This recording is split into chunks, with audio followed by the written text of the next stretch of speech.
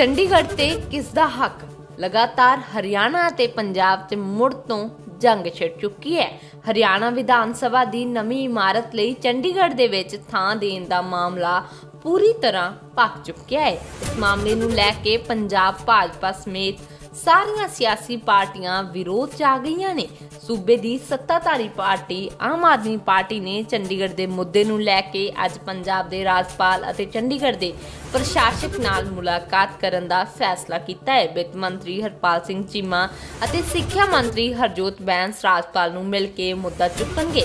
ਇਸ ਤੋਂ ਪਹਿਲਾਂ ਪਾਰਟੀ ਦੇ ਸੀਨੀਅਰ ਆਗੂ ਅਤੇ ਸਾਬਕਾ ਮੰਤਰੀ ਅਨਮੋਲ ਗਗਨਮਾਨ ਨੇ ਵੀ ਪ੍ਰੈਸ ਕਾਨਫਰੰਸ ਕਰਕੇ ਕਿਹਾ ਸੀ ਕਿ ਇਸ ਮੁੱਦੇ ਤੇ ਸੰਘਰਸ਼ ਕੀਤਾ ਜਾਵੇਗਾ। ਨਾਲ ਹੀ ਜੇਕਰ ਅਦਾਲਤ ਵਿੱਚ ਜਾਣਾ ਪਵੇ ਤਾਂ ਅਸੀਂ ਪਿੱਛੇ ਨਹੀਂ ਹਟਾਂਗੇ। ਪੰਜਾਬ ਦੇ ਹੱਕਾਂ ਦਾ ਕਾਨ ਨਹੀਂ ਹੋਣ ਦਿੱਤਾ ਜਾਵੇਗਾ ਤਾਂ ਇਹ ਮੁੱਦਾ ਹੁਣ ਬਹੁਤ ਜ਼ਿਆਦਾ ਪੱਕ ਚੁੱਕਿਆ ਹੈ, ਜਿਸ ਨੂੰ ਲੈ ਕੇ ਹਰ ਪਾਰਟੀ ਆਪਣਾ ਪੱਖ ਰੱਖ ਰਹੀ ਹੈ। ਉੱਥੇ ਹੀ ਚੰਡੀਗੜ੍ਹ ਦੇ ਮੁੱਦੇ ਤੇ ਪੰਜਾਬ ਕਾਂਗਰਸ ਦੇ ਸੀਨੀਅਰ ਆਗੂ ਪ੍ਰਤਾਪ ਸਿੰਘ ਬਾਜਵਾ ਨੇ ਪ੍ਰਧਾਨ ਮੰਤਰੀ ਨੂੰ ਪੱਤਰ ਵੀ ਲਿਖਿਆ ਹੈ। ਇਸ ਵਿੱਚ ਉਹਨਾਂ ਨੇ ਚੰਡੀਗੜ੍ਹ ਤੇ ਪੰਜਾਬ ਦੇ ਉਚਿਤ ਦਾਅਵੇ ਨੂੰ ਸਵੀਕਾਰ ਕਰਨ ਅਤੇ ਸੂਬੇ ਨਾਲ ਲੰਬੇ ਸਮੇਂ ਤੋਂ ਕੀਤੇ ਵਾਅਦਿਆਂ ਨੂੰ ਪੂਰਾ ਕਰਨ ਦਾ ਸੱਦਾ ਵੀ ਦਿੱਤਾ ਹੈ। ਬਾਜਵਾ ਨੇ ਚਿੰਤਾ ਜ਼ਾਹਰ ਕੀਤੀ ਹੈ ਕਿ ਹਰਿਆਣਾ ਨੂੰ ਆਪਣੇ ਨਾਲ ਜੋੜਨ ਦਾ ਹਰ ਕਦਮ ਪੰਜਾਬ ਲਈ ਕੀਤੇ ਵਾਅਦਿਆਂ ਦੀ ਪਵਿੱਤਰਤਾ ਨੂੰ ਢਾਹ ਲਾਉਣਾ ਹੈ ਅਤੇ ਆਪਸੀ ਸਨਮਾਨ ਦੀ ਸੰਗੀ ਭਾਵਨਾ ਨੂੰ ਕਮਜ਼ੋਰ ਕਰਨਾ ਹੈ। ਤਾਂ ਹਰ ਪਾਰਟੀ ਇਸ ਸਮੇਂ ਵਿਰੋਧ ਕਰ ਰਹੀ ਹੈ। ਪੰਜਾਬ ਦੀਆਂ ਤਮਾਮ ਪਾਰਟੀਆਂ ਚੰਡੀਗੜ੍ਹ ਦੇ ਵਿੱਚ ਹਰਿਆਣਾ ਦੀ ਵਿਧਾਨ ਸਭਾ ਨੂੰ ਲੈ ਕੇ ਵਿਰੋਧ ਕਰ ਰਹੀਆਂ ਨੇ ਤੇ ਉਸ ਦੇ ਨਾਲ ਹੀ ਇੱਕ ਵੱਡੀ ਖਬਰ ਜੁੜੀ ਹੋਈ ਹੈ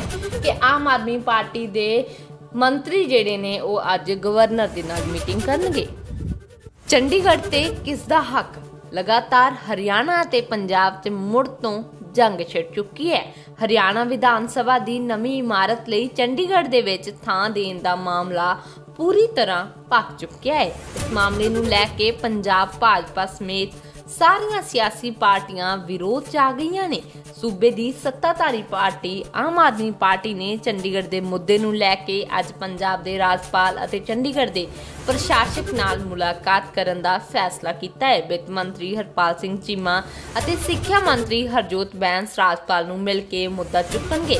ਇਸ ਤੋਂ ਪਹਿਲਾਂ ਪਾਰਟੀ ਦੇ ਸੀਨੀਅਰ ਆਗੂ ਅਤੇ ਸਾਬਕਾ ਮੰਤਰੀ ਅਨਮੋਲ ਗਗਨਮਾਨ ਨੇ ਵੀ ਪ੍ਰੈਸ ਕਾਨਫਰੰਸ ਕਰਕੇ ਕਿਹਾ ਸੀ ਕਿ ਇਸ ਮੁੱਦੇ ਤੇ ਸੰਘਰਸ਼ ਕੀਤਾ ਜਾਵੇਗਾ। ਨਾਲ ਹੀ ਜੇਕਰ ਅਦਾਲਤ ਵਿੱਚ ਜਾਣਾ ਪਵੇ ਤਾਂ ਅਸੀਂ ਪਿੱਛੇ ਨਹੀਂ ਹਟਾਂਗੇ। ਪੰਜਾਬ ਦੇ ਹੱਕਾਂ ਦਾ ਕਾਨ ਨਹੀਂ ਹੋਣ ਦਿੱਤਾ ਜਾਵੇਗਾ ਤਾਂ ਇਹ ਮੁੱਦਾ ਹੁਣ ਬਹੁਤ ਜ਼ਿਆਦਾ ਪੱਕ ਚੁੱਕਿਆ ਹੈ, ਜਿਸ ਨੂੰ ਲੈ ਕੇ ਹਰ ਪਾਰਟੀ ਆਪਣਾ ਪੱਖ ਰੱਖ ਰਹੀ ਹੈ। ਉੱਥੇ ਹੀ ਚੰਡੀਗੜ੍ਹ ਦੇ ਮੁੱਦੇ ਤੇ ਪੰਜਾਬ ਕਾਂਗਰਸ ਦੇ ਸੀਨੀਅਰ ਆਗੂ ਪ੍ਰਤਾਪ ਸਿੰਘ ਬਾਜਵਾ ਨੇ ਪ੍ਰਧਾਨ ਮੰਤਰੀ ਨੂੰ ਪੱਤਰ ਵੀ ਲਿਖਿਆ ਹੈ। ਇਸ ਵਿੱਚ ਉਹਨਾਂ ਨੇ ਚੰਡੀਗੜ੍ਹ ਤੇ ਪੰਜਾਬ ਦੇ ਉਚਿਤ ਦਾਅਵੇ ਨੂੰ ਸਵੀਕਾਰ ਕਰਨ ਅਤੇ ਸੂਬੇ ਨਾਲ ਲੰਬੇ ਸਮੇਂ ਤੋਂ ਕੀਤੇ ਵਾਅਦਿਆਂ ਨੂੰ ਪੂਰਾ ਕਰਨ ਦਾ ਸੱਦਾ ਵੀ ਦਿੱਤਾ ਹੈ। ਬਾਜਵਾ ਨੇ ਚਿੰਤਾ ਜ਼ਾਹਰ ਕੀਤੀ ਹੈ ਕਿ ਹਰਿਆਣਾ ਨੂੰ ਆਪਣੇ ਨਾਲ ਜੋੜਨ ਦਾ ਹਰ ਕਦਮ ਪੰਜਾਬ ਲਈ ਕੀਤੇ ਵਾਅਦਿਆਂ ਦੀ ਪਵਿੱਤਰਤਾ ਨੂੰ ਢਾਹ ਲਾਉਣਾ ਹੈ ਅਤੇ ਆਪਸੀ ਸਨਮਾਨ ਦੀ ਸੰਗੀ ਭਾਵਨਾ ਨੂੰ ਕਮਜ਼ੋਰ ਕਰਨਾ ਹੈ। ਤਾਂ ਹਰ ਪਾਰਟੀ ਇਸ ਸਮੇਂ ਵਿਰੋਧ ਕਰ ਰਹੀ ਹੈ। ਪੰਜਾਬ ਦੀਆਂ ਤਮਾਮ ਪਾਰਟੀਆਂ ਚੰਡੀਗੜ੍ਹ ਦੇ ਵਿੱਚ ਹਰਿਆਣਾ ਦੀ ਵਿਧਾਨ ਸਭਾ ਨੂੰ ਲੈ ਕੇ ਵਿਰੋਧ ਕਰ ਰਹੀਆਂ ਨੇ ਤੇ ਉਸ ਦੇ ਨਾਲ ਹੀ ਇੱਕ ਵੱਡੀ ਖਬਰ ਜੁੜੀ ਹੋਈ ਹੈ ਕਿ ਆਮ ਆਦਮੀ ਪਾਰਟੀ ਦੇ ਮੰਤਰੀ ਜਿਹੜੇ ਨੇ ਉਹ ਅੱਜ ਗਵਰਨਰ ਦੇ ਨਾਲ ਮੀਟਿੰਗ ਕਰਨਗੇ